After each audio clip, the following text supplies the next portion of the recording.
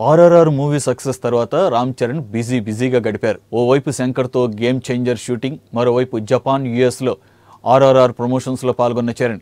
ఆ తర్వాత ఆస్కార్ క్యాంపెయిన్లో భాగంగా యుఎస్లో అనేక ఇంటర్వ్యూలు ఇచ్చారు. ఇలా దాదాపు ఏడాది కాలంగా బ్యాక్ టు బ్యాక్ ఫిల్మ్ షూట్స్తో పాటు మీడియా ఇంటరాక్షన్ టూర్స్తో టైట్ స్కెడ్యూల్ మెయింటైన్ చేశాడు. ఏడాది కాలంగా ప్రొఫెషనల్ వర్క్లో బిజీ బిజీగా ఉన్న చరణ్ గేమ్ చేంజర్ షూటింగ్ దాదాపు కంప్లీట్ చేసుకున్నాడు. మరోవైపు తన పుట్టినరోజు వేడుకలను సైతం ఘనంగా జరుపుకున్న చెర్రీ వైఫ్ ఉపాసనతో కలిసి ప్రశాంతంగా గడిపేందుకు వెకేషన్ కోసం దుబాయ్ వెళ్ళాడు. ఈ మేరకు రామ్ చరణ్ కపుల్ ఎయిర్పోర్ట్లో కనిపించిన ఫొటోస్ వైరల్ అవుతున్నాయి.